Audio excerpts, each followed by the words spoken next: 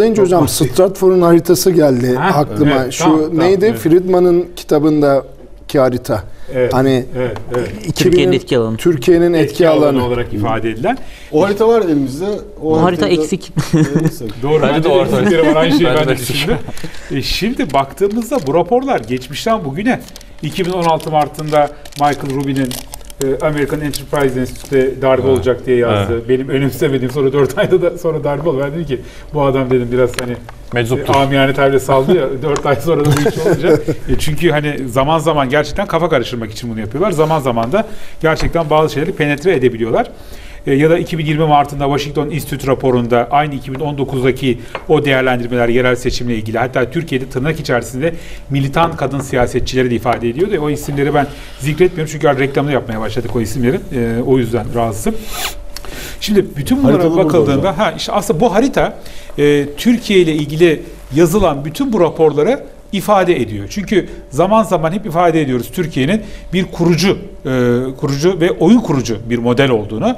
Bunu görünce herhalde akıllarına e, Osmanlı Devleti geliyor ya da başka e, haritalar geliyor. Çünkü Türk dünyasına bakıldığında Türkiye'nin tabii çok daha geniş bir çerçevede etki alanı olduğu e, görülmekte.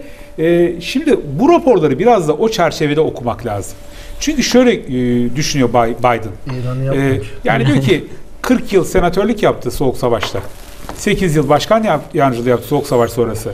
Biz diyor Soğuk Savaş dönemindeki gibi Türkiye'ye belli roller veririz. Bunun ötesi de geçmez. Onu korkuturuz diye ama o kadar köprünün altından gerçekten çok fazla su aktı ki hele ki kendisinin en son görev yaptığı 2016'dan başkan yardımcısı 2021'e o kadar çok şey değişti ki bir kere Amerika diplomasiyi kaybetti koskoca Amerika. 2020'nin aralığında bize hasım dedi. Şimdi uluslararası işler birinci sınıfa girelim. Bir öğrenci hocam hem e, bir ülke bize müttefik hem düşman derse ne yaparsın? yani işte e, bu adam böyle bu durumda. Artık nasıl değerlendirmek? Sadece bu adam değil kadrosu da böyle. Bunlara e, siyaset psikolojisinde groupthink diyorlar. Bunlar bir groupthink'e girmiş durumdalar ki artık e, somut gerçekleri göremez. Yani gözleri bir kısmının hepsi olmasa bile Türkiye düşmanlığıyla adeta kapanmış, kararmış vaziyette. Bu kendi onların çıkarları savunmak bize kalmadı ama kendi çıkarları açısından bakıldığında da biraz önce bu haritada görüldüğü gibi Ne yapmaya çalışıyor Stratfor bu haritayı yayınlayarak? E şimdi bu haritayı yayınlayarak- Çünkü bu haritanın bir de Arap dünyasında etiketliyor var. Türkiye'yi yani. tabii. Yani Araplar Bu bayağı Türkiye'ye eski bir harita olacak. Ee, Evet. işte Türk dünyasıyla arasında husumet doğacak. Ee, işte Rusya ile problemler olacak. Türkiye'yi biraz daha kısıtlamak ve Türkiye'yi mesela Neo Otoman dedikleri zaman onlara göre hani hep saldırgan, emperyal. Halbuki e, daha önce de konuşmuştuk ama e, şöyle bir e, altını çizip öyle toparlayayım. Türkiye'nin temel politikası bence karşılıklı beka stratejisidir.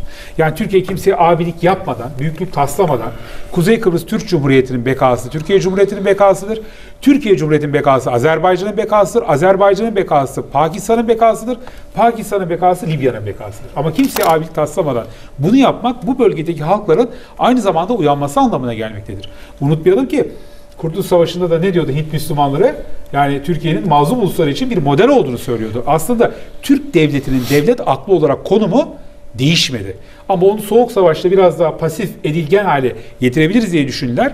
Şimdi kendi hem kurucu ayarlarını sadece Cumhuriyet bağlamında değil hem Cumhuriyet bağlamında hem de 2230 yıllık devlet geleneği bağlamında kendisini ifade ettiğinde adamların 200 yıllık işte tarihleri var yok Amerika Birleşik Devletleri'nin. Tabii Avrupa ayrı bir tarih. Dolayısıyla bu anlamda Türkiye'yi belli cenderelere sıkıştırmak isteyenler açısından, o senaryolara gömmek isteyenler açısından e, o özellikle 2016 sonrası, 15 Temmuz sonrasındaki uyguladığı politikalara baktığımızda gerçekten de onlar için kabus gibi mavi vatan olsun, Güney Kafkasya politikası olsun, Libya olsun, Suriye politikası olsun. E, daha da o kabusu görmeye devam edecekler eğer bu kafada devam ederlerse diye düşünüyorum.